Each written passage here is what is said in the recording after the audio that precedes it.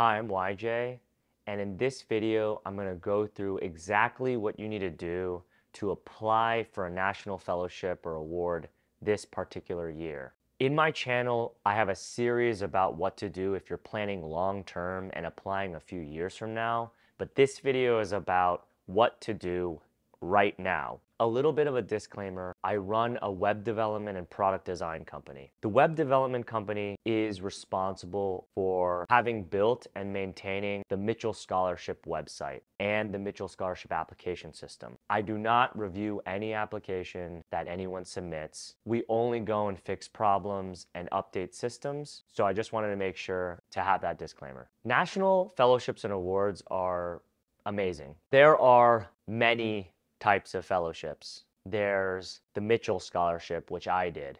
There's the Luce Scholars Program, which I also did. There's the Fulbright uh, Research Grant Teaching uh, Fulbright. There's the Gates Cambridge in England. There's Rhodes. There's Marshall. There's Schwarzman in Beijing.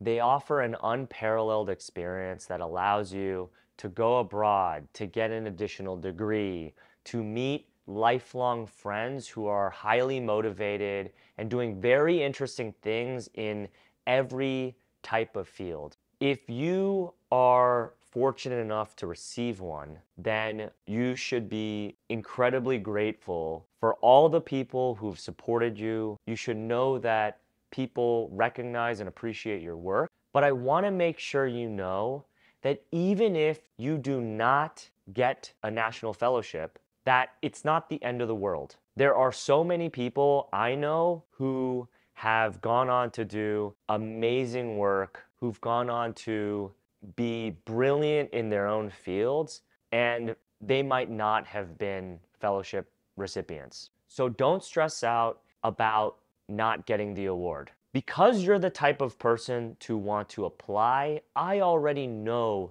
that you have big aspirations and big goals for yourself.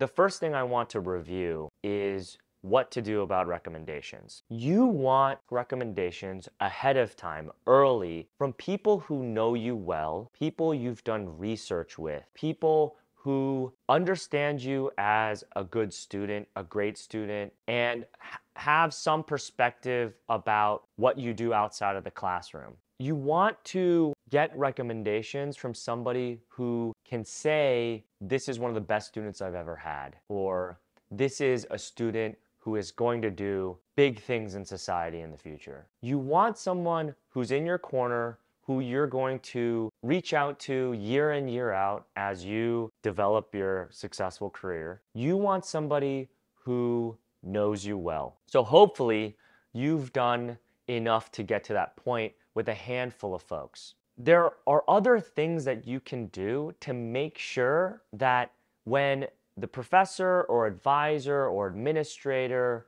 or mentor somewhere is writing a recommendation for you, that you're making it extremely easy for them. You want to be able to have a folder, a physical folder that has everything that you do written out in it. So this includes, but is not limited to, a paper that writes out what's in the folder, a checklist for your recommender, a personal statement that they can read that has your entire narrative written out. And it's okay in this moment if it's a draft. If you're, let's say, at the beginning of summer late spring, um, handing them this kind of portfolio you want to have a thorough list and descriptions of activities that you've done in reverse chronological order. It's kind of like an elongated CV or resume that has your role in whatever you were doing, the organization that the role is connected to, time periods related to when you were doing that work,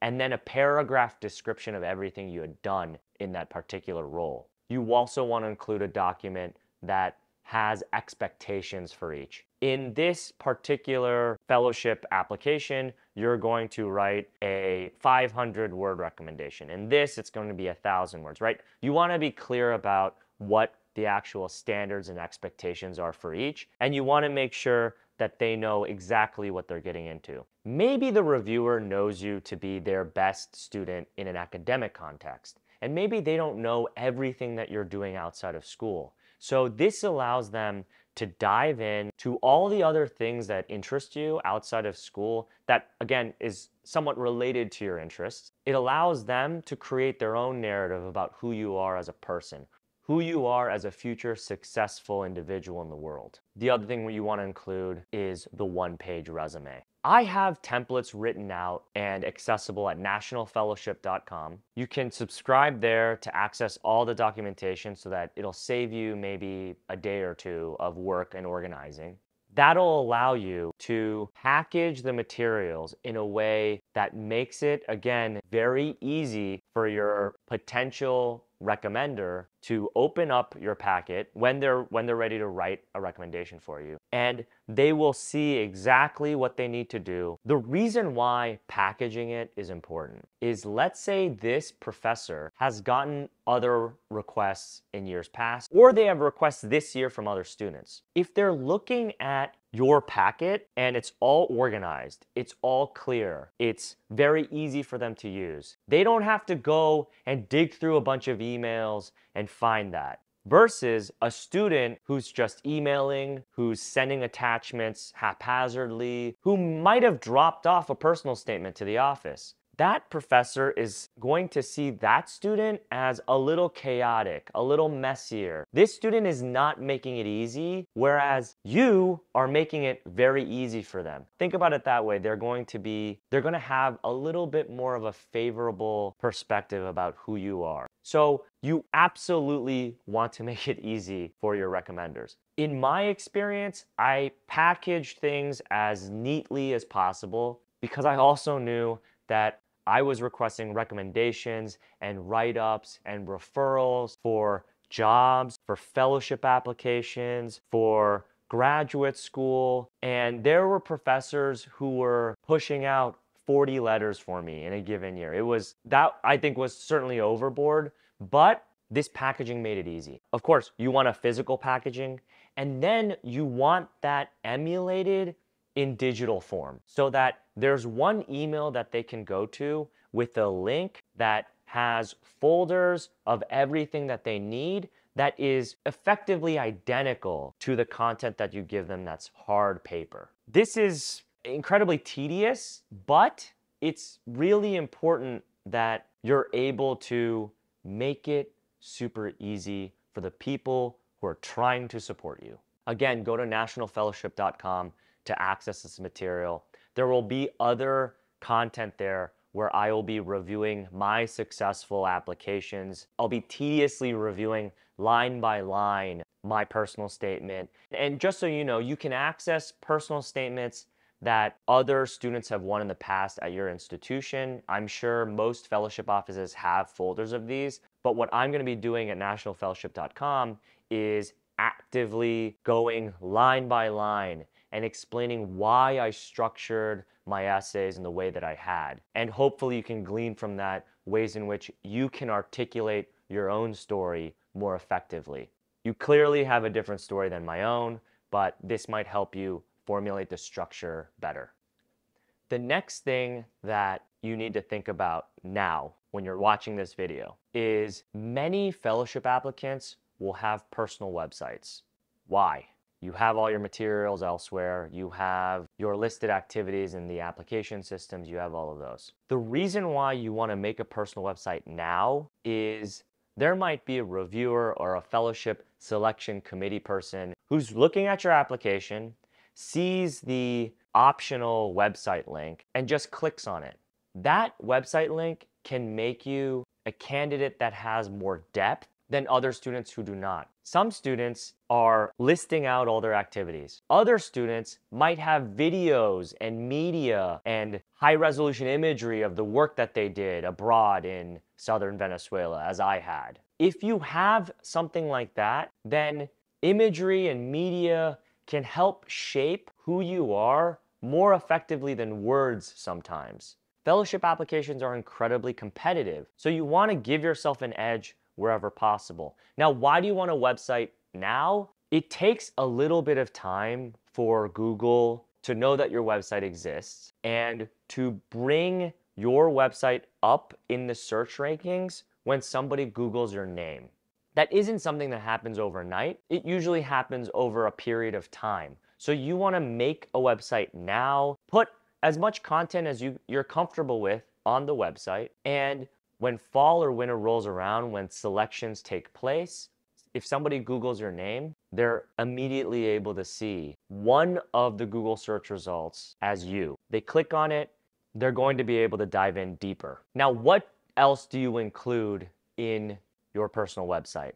You can have writings, you can have blog posts about your perspectives on current events, on any topic you're really interested in. If most applicants are going to have a niche interest, I recommend everyone write your perspective about that niche interest and let that be an exercise in helping to market yourself further, not just for national fellowships, but for your career.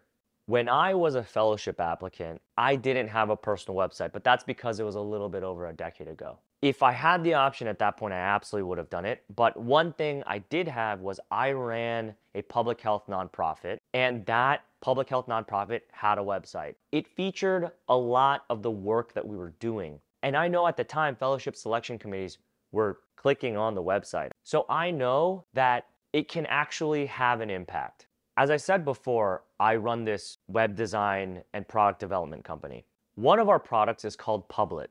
Publet is a website builder meant for personal websites. We originally made it for PhD students because most PhD students are in a hyper competitive environment where there are very few tenure track positions and they are trying to differentiate themselves. Each PhD candidate needs a website to highlight their work, their research experiences, their writing, etc. So we originally made it for that, but I realized that personal websites can help entrepreneurs, writers, anyone who's starting a new business, or anyone who's had established businesses, college students who have a lot to share.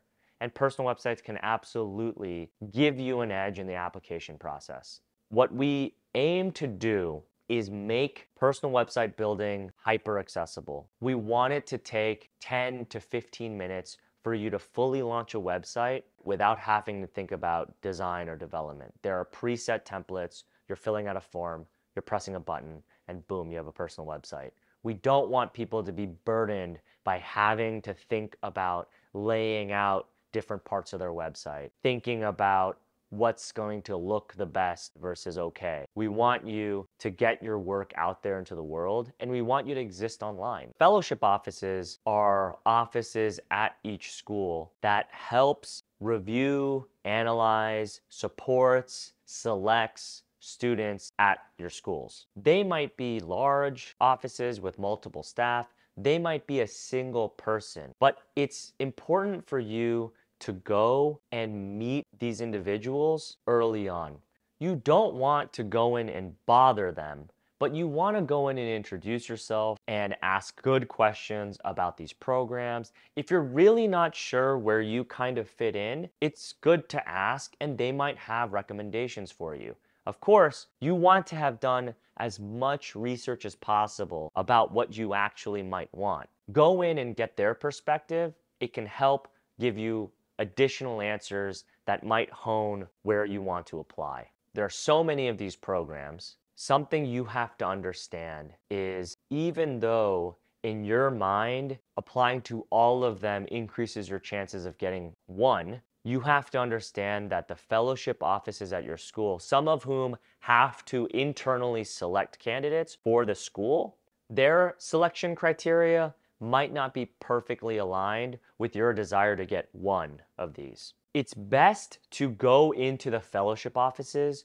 with an idea of, oh, I'm really interested in technology, and Ireland has all these amazing tech companies that are domiciled there, that are growing, and I want to be in an Irish university so that I can have access to this growing European hub of technology. You want to be very specific about why one fellowship might work out better than another. You could think, oh, well, I want to get a PhD or an advanced degree and Gates Cambridge and Rhodes can set me up for that. You obviously also want to know statistically what chances you have for each. I'm going to have a specific video about fellowships with which I have familiarity, so look out for those. But in general terms, you want to know, and these stats exist online, you want to know what are the chances for me to get a Fulbright to Croatia or a Fulbright to Ecuador versus me getting a Schwarzman scholarship or me applying for a Rhodes? What's that process like and what are the actual chances? You want to approach the fellowship office at your school with a, a bit of a range of national fellowships that you might have a higher chance of getting versus those that are a little bit more exclusive.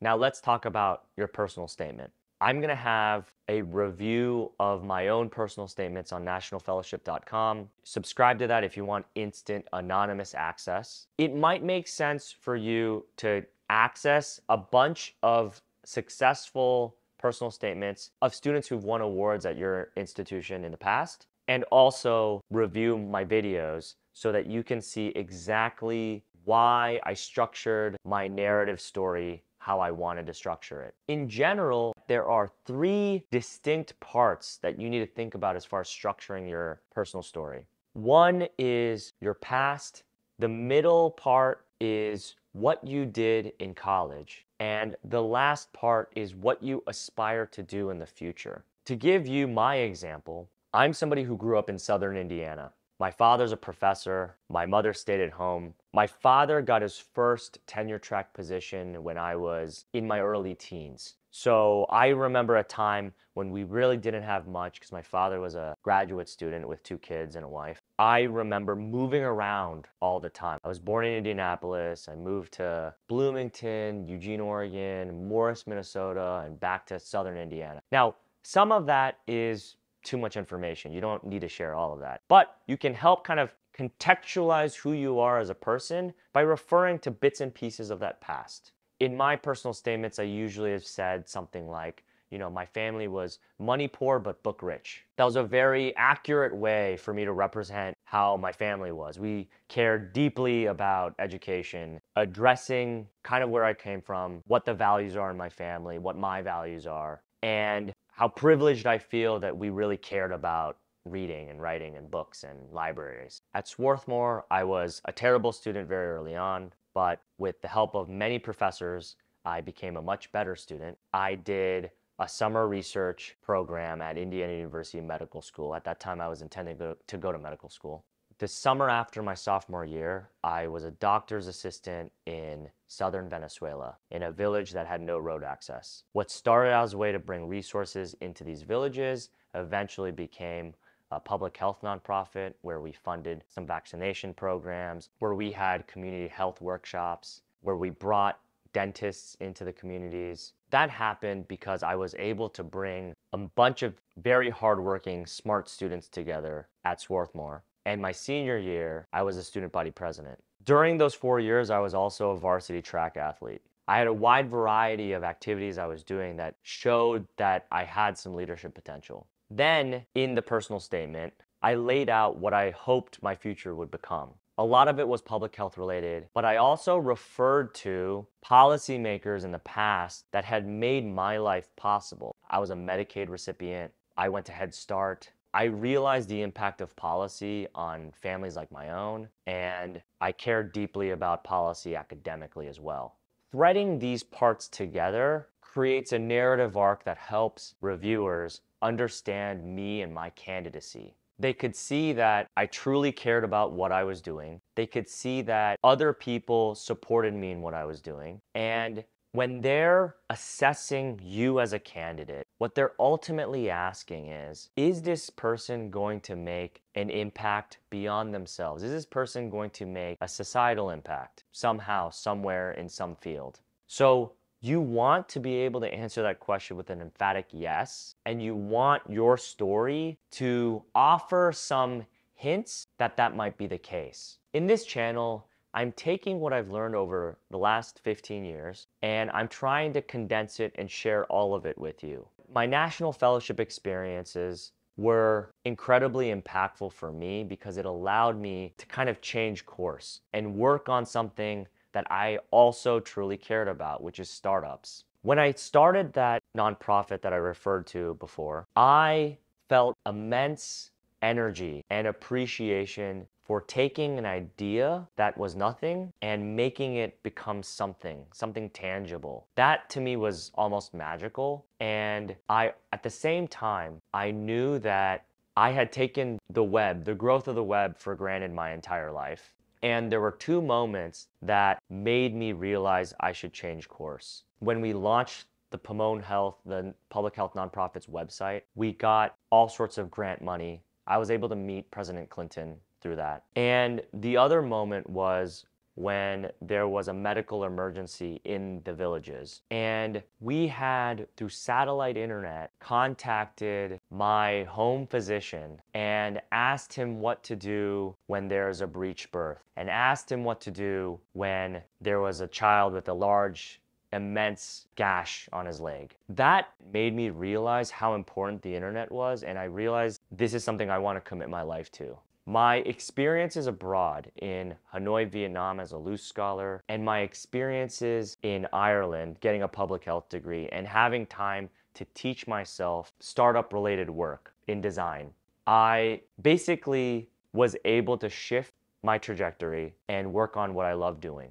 There are thousands of students applying to national fellowships and awards, but the important takeaway is that you'll be able to figure out what your life trajectory might be. You'll be able to imagine and dream your future life. Hopefully, for those who are able to access these programs, you'll be part of a community of long term friends and highly motivated people who are doing very interesting work in disparate fields all over the world. For those who don't end up being awarded, I want you to know that it's going to be totally fine. I have had friends who've done these programs. I have had friends who haven't. And the whole point is your desire to market yourself more effectively, to apply for these programs, to put yourself out there is enough of an indicator that you truly care about your future. You're going to be just fine.